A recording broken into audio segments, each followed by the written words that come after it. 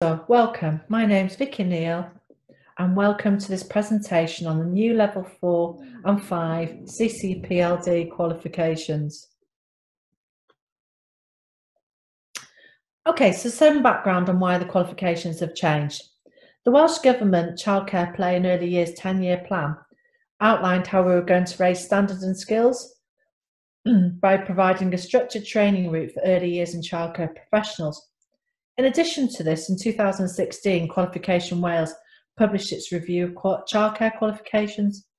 One of the recommendations of the report was that a new suite of qualifications to be developed for learners in Wales to ensure that we raise quality.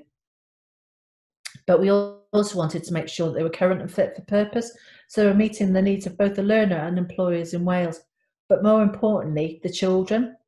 So these new qualifications have been now been de developed in collaboration with key stakeholders and Health Improvement Wales, and they are now available. It's really important to state at this point that existing qualifications will continue to be valued and recognised. Later on, I'll be talking about the social care qualification framework and where predecessor qualifications can be located.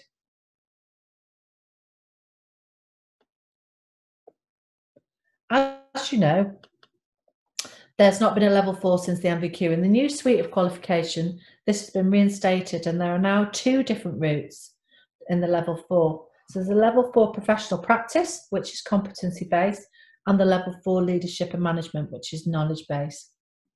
To achieve the level four professional practice uh, qualification, learners must achieve a minimum of 60 credits. So it's essential that learners be enrolled where they can evidence practice competencies.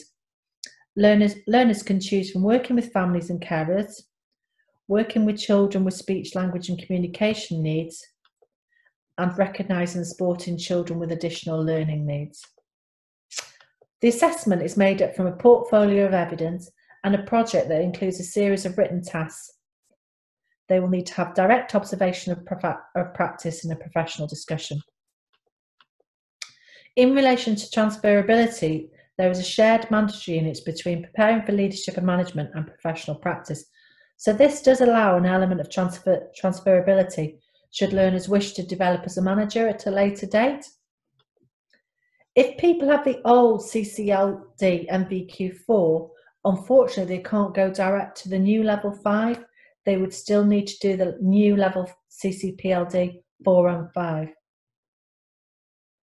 The content of the qualification can be found in in um, the qualification specification and the weights will be assessed can be found in the assessment pack and these all can be found on Health and Care Learning Wales website.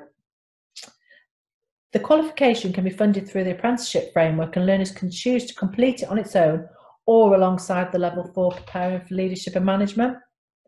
All, learning, all learners using the apprenticeship framework must complete essential skills qualifications as well learners must be aged at least 18 and to reiterate, they must be in a role where they can provide evidence of practice at this next level.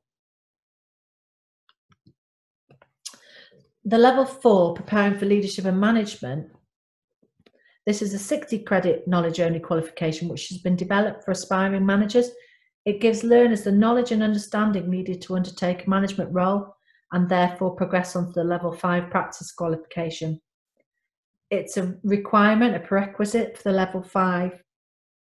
The qualification is made up of three knowledge only units leading child centered practice, theoretical frameworks for leadership and management, and understanding how to lead and manage effective team performance. Each unit has a combination of written and oral assessments, and these have been set by the awarding body. Again, the content of the qualification can be found in the qualification specification and the way it will be assessed can be found in the assessment pack. This qualification can also be funded through the apprenticeship framework and it can be completed alongside either level four professional practice or the level five leadership and management qualification. The minimum age is 18. If you already have a learner on the QCF level 5, there is a transition period to allow learners who are already working toward a qualification to be able to complete their study.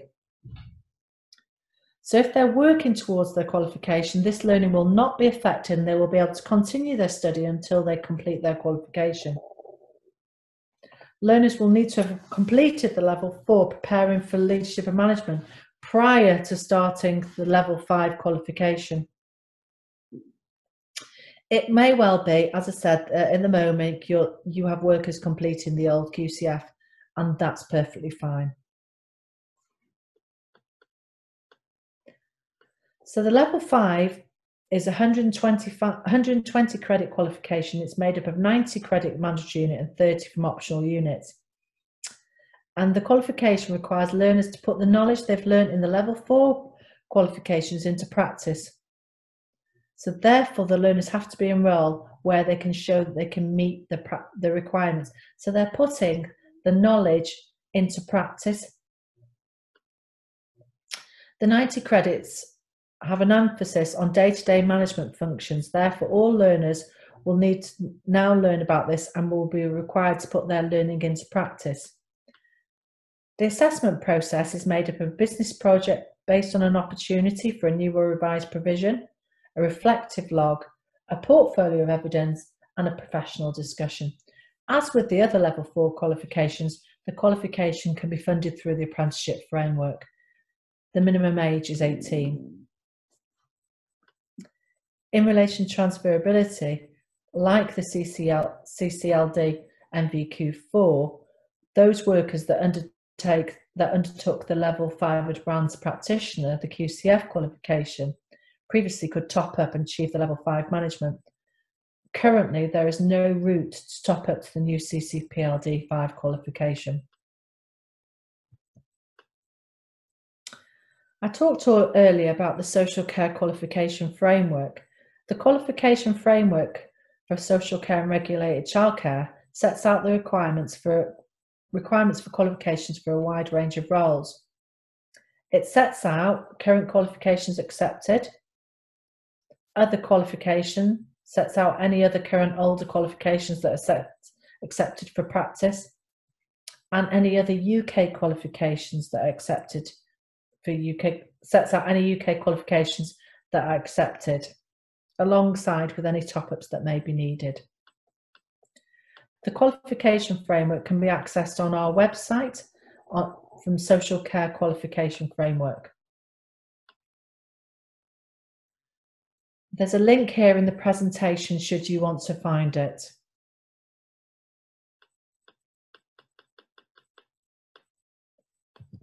That was just a whistle tour through the new level four and five qualifications. If you want to contact, if you have any queries or qualifications and cannot find the information on our qualification framework, please use this link to contact us. So thank you for your time. Diolch yn fawr.